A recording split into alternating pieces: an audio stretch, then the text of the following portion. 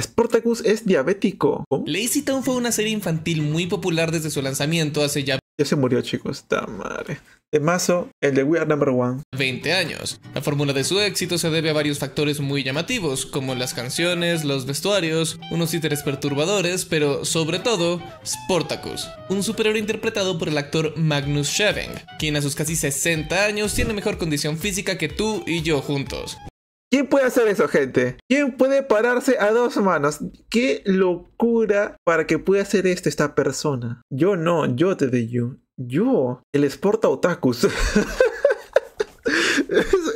Ese es el orden de su nombre. Ahora todo tiene sentido. Lo intenté, pero me caí del carro. Al carro. Ah, esto de que mi brazo ya deje de ser un fideo y tenga fuerza, chicos. No da visitas, eso sí. Que gente, si yo me pongo musculoso, eso no da visitas. Por eso no lo hago. O sí lo hace. Ah, te caes de cara. A ver, muestra. ¿Cómo que sí da? Mejor vuélvete gordo. ¿Cómo puede ser que tengas el brazo flojo siendo furro? Ponte un short y úsalo de croma. Ah, que, que hago transmisión sin polo, dice ahí mostrando. ¡Wow! Calambre, creo. No, mejor sigamos. yo juntos. Su personaje, siendo el protagonista de la serie, promovió una vida sana, llena de ejercicio y buena alimentación, y estaba impresionantemente mamadísimo, aunque en ese momento no lo notamos. Y como todo superhéroe, tenía una debilidad. Los dulces. No porque le gustaran, sino porque el momento en el que el azúcar entraba a su sistema, Sportacus colapsaba, básicamente haciendo del azúcar su propia kriptonita, casi como si fuera alguien diabético. Esto trae a colación una teoría tanto extraña como popular, y Pero tiene sentido, por algo los dulces lo, lo, lo joden fatal. Recuerden que Yu era luchador. No.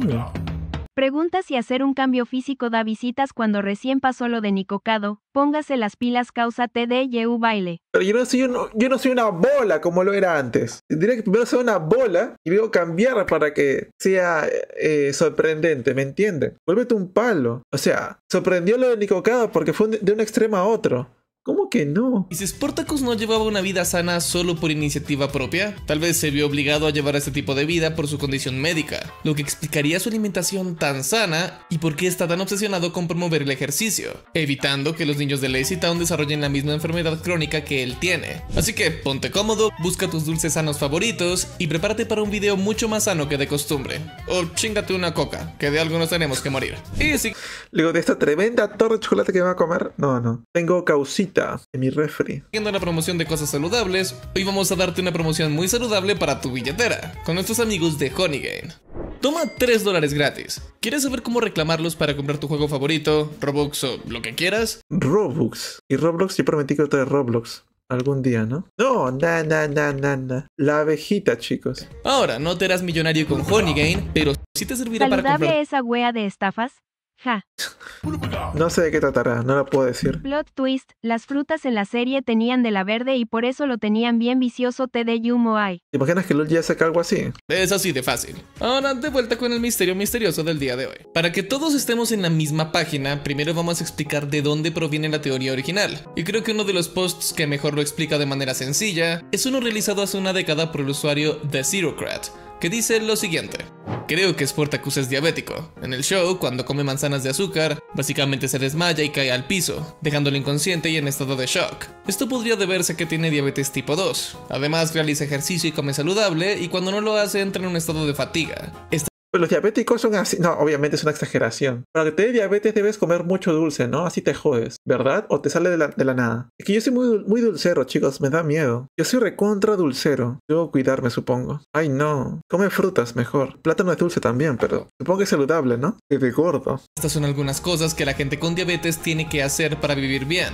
Y si lo piensas, cuando el resto del pueblo actúa de manera poco saludable, no se ven tan afectados como Sportacus cuando él hace las mismas cosas. Es una teoría bastante discutida en foros viejos de internet, y si le echamos un vistazo más de cerca a estas discusiones, veremos que el problema no es si tiene o no diabetes, sino más bien no se deciden si se trata de diabetes tipo 1 o tipo 2. Y no Bueno, hay que hay que explicar esa debilidad, ¿no? y no te preocupes, yo tampoco conocía la diferencia. La diabetes es una enfermedad crónica que tiene muchas variantes, pero en general se caracteriza por la elevación de glucosa en la sangre, una molécula que es una de las principales fuentes de energía en nuestro cuerpo, las cuales Parecía canchita, qué rico. adquirimos luego de la ingesta de alimentos. Una vez que la glucosa aumenta en nuestra sangre, el páncreas se encarga de liberar la insulina que viaja a través de la misma sangre y le permite a nuestras células absorber la glucosa. Así es como el proceso de absorción de esta molécula funciona normalmente, pero cuando tienes diabetes tipo 1 hay una alteración que impide la producción de la insulina. La diabetes tipo 1 es también conocida como diabetes juvenil, ya que se detecta principalmente en niños o hasta adolescentes. Básicamente la persona diagnosticada no produce insulina porque las células beta del páncreas que se encargan de dicha tarea están destruidas debido a un fallo en el sistema autoinmune.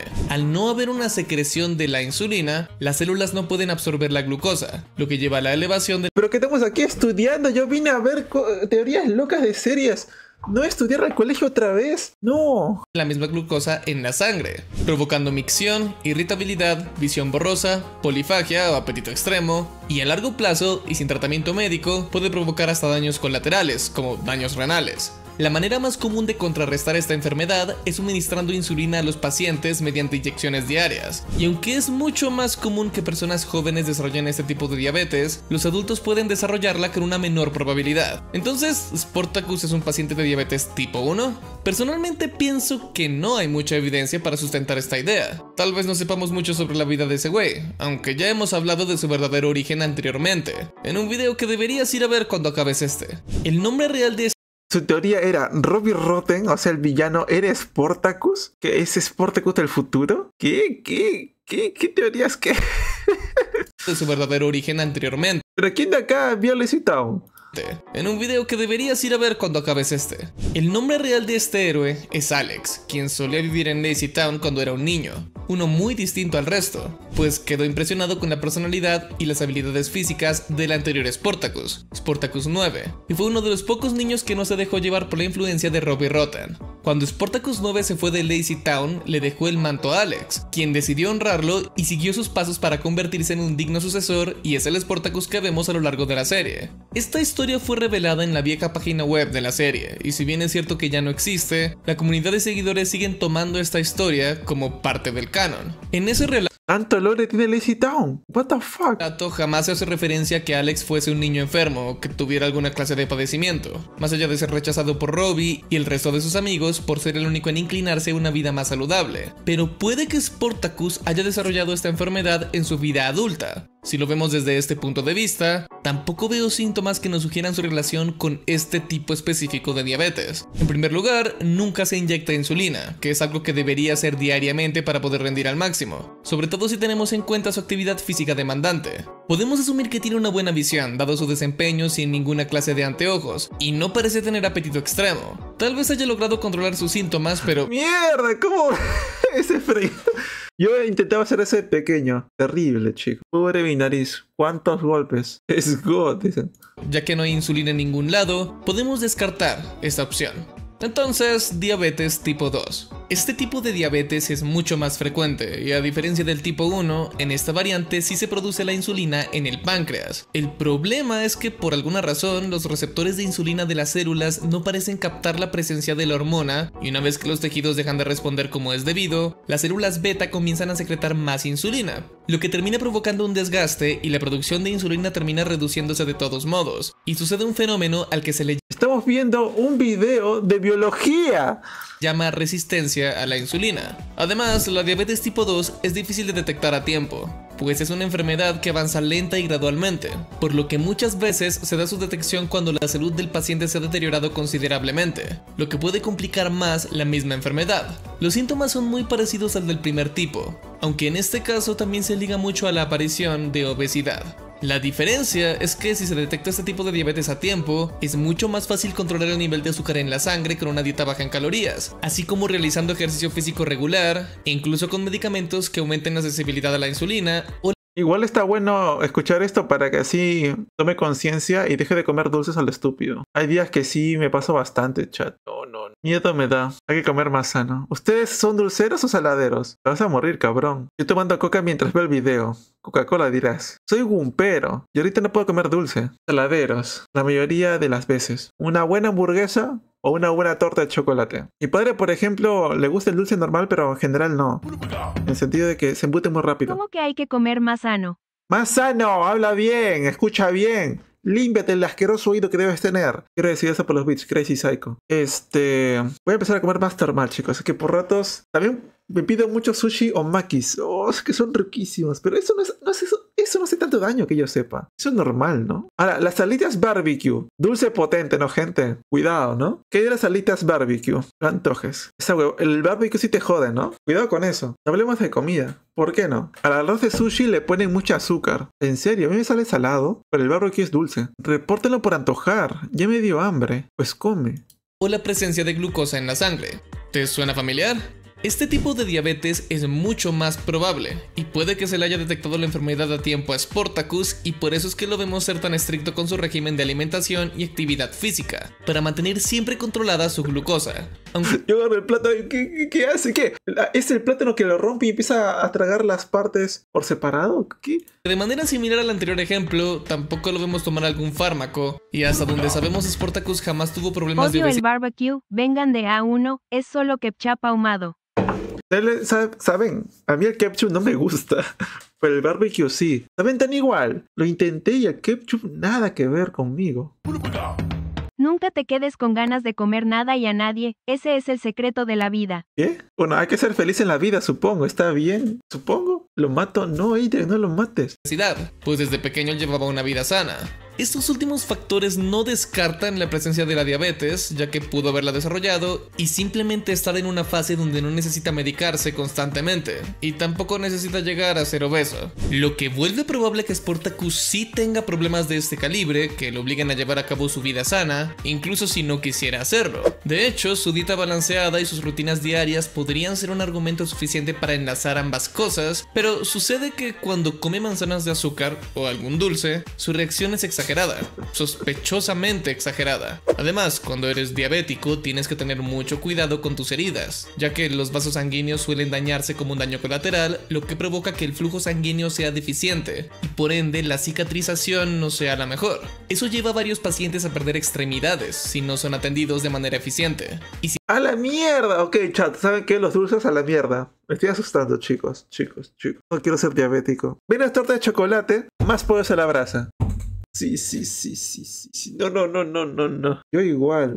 Si tenemos en cuenta que Sportacus se arriesga constantemente a sufrir muchas heridas o que se ha llevado buenos golpes al caer en las trampas de Robbie y no parece presentar heridas, me hace pensar que tal vez no tiene una diabetes como tal.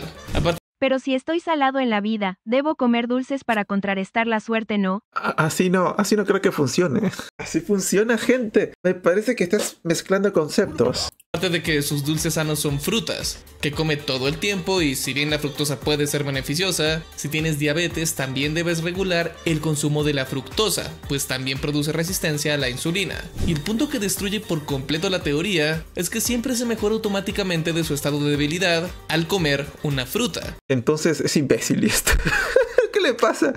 Eso pasaba también. lo que simplemente no debería pasar. Debería tomar metformina o inyectarse insulina o epinefrina o algo así, no comer una manzana. Entonces, Bueno, al parecer moriré a los 33, pero de esa edad murió Jesucristo, así que no es tan malo, supongo. No, hombre, pájaro, no te, no te sobrepases con las comidas. Coman normal, chicos. Bueno, uno como, coman como sean felices, solamente no vean un extremo o el otro. O sea, hay gente que está gorda y viven hasta super ancianos, o sea, normalazo. El tema es que saben comer bien para no joderse el estómago. O sea, tú.